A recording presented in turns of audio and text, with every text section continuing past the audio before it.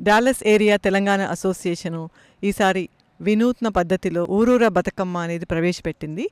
ఇది చాలా మందికి చాలా మహిళలకు చాలా ఉత్సాహాన్ని ఇచ్చింది. ఎందుకంటే మనం తెలంగాణ రాష్ట్రంలో వాడవాడలో జరుపుకొని మరి తొమ్మిదవ రోజు సద్దుల బతుకమ్మ జరుపుకుంటాము. అట్లానే ఇక్కడ కూడా ఊరూరా బతుకమ్మ అని ప్రతి సబర్బ్లో అంటే డాలస్ ఏరియాలో ఉన్న నగరాలన్నింటిలోనూ ఒక్కొక్క రోజు జరుపుకోవడం జరిగింది. అక్కడ జరు జరుపుకున్న తర్వాత అక్కడ మంచి బతుకమ్మ కింద బెస్ట్ బతుకమ్మకి బహుమతి ఇచ్చాము.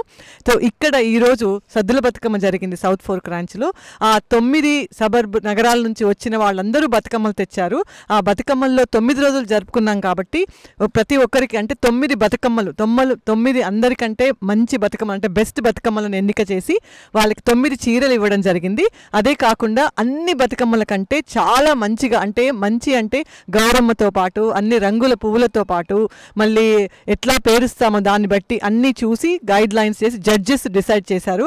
ఆ మంచి బతుకమ్మకి తొమ్మిది బతుకమ్మలకి పది చీరలు పది బహుమతులు పది ఆడపడుచులకు ఇవ్వడం జరిగింది. ఈ ఈరోజు చాలా మంది వచ్చారు. మహిళలు సంతృప్తిగా బతుకమ్మ ఆడారు నాలుగున్నర గంటల నుంచి దాదాపు ఏడున్నర ఎనిమిది వరకు బతుకమ్మ ఆడారు నిమజ్జనం కూడా చాలా బాగా జరిగింది. నిమజ్జనం కూడా మన తెలంగాణ రాష్ట్రంలో ఎలా చేస్తామో ఇక్కడ కొలంలోనే చేయడం జరిగింది. దగ్గరికి వెళ్ళి దప్పులతో చాలా బ్రహ్మాండంగా నిమజ్జనం జరిగింది. తర్వాత కూడా వచ్చిన తర్వాత మళ్ళీ పోయి రావమ్మ గౌరమ్మ మళ్ళీ రావమ్మ లక్ష్మి అని పాట పాడుకుంటూ ప్రతి ఒక్కరూ అందరూ పసుపు కుంకుమలతో తీసుకుని వెళ్ళారు. దానికి నాకు చాలా సంతోషంగా ఉంది.